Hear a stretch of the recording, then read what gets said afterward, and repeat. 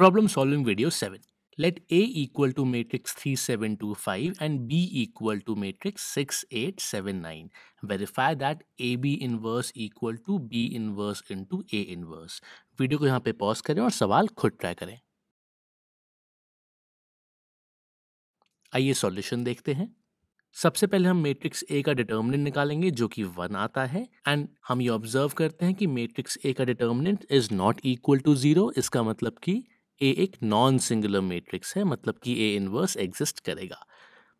Adjoint A निकालते हैं, आपको याद होगा एडजॉइंट निकालने के लिए टू क्रॉस टू मैट्रिक्स पे हम इस डायगनल के एलिमेंट्स को इंटरचेंज कर देते हैं और इस डायगनल के एलिमेंट्स का साइन चेंज कर देते हैं तो हमारे पास एडजॉइंट ए की वैल्यू ये आ गई।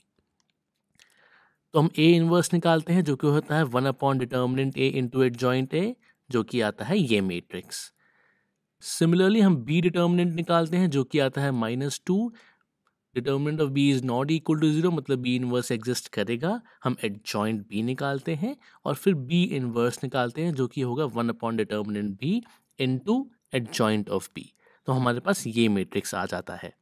अब हम B inverse into A inverse matrix निकालते हैं। मैट्रिक्स मल्टीप्लिकेशन आपको पिछले चैप्टर से याद होगा। तो हमारे पास वैल्यू आ जाती है ये। अब हम ए बी मैट्रिक्स मल्टीप्लाई करते हैं और हम वेरीफाई करते हैं कि हमारे पास ये मैट्रिक्स आता है।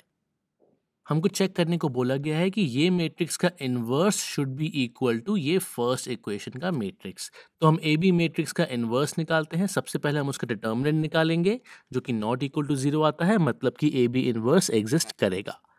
फिर हम एडजॉइंट ए बी निकालते हैं और फिर हम ए बी इन्वर्स निकालते हैं, जो कि होता है one upon determinant of A B into adjoint A B तो हम देखते हैं कि हमारे पास ये मैट्रिक्स आता है। इसको इक्वेशन टू बोल देते हैं। From one and two we can say कि A B inverse is equal to B inverse into A inverse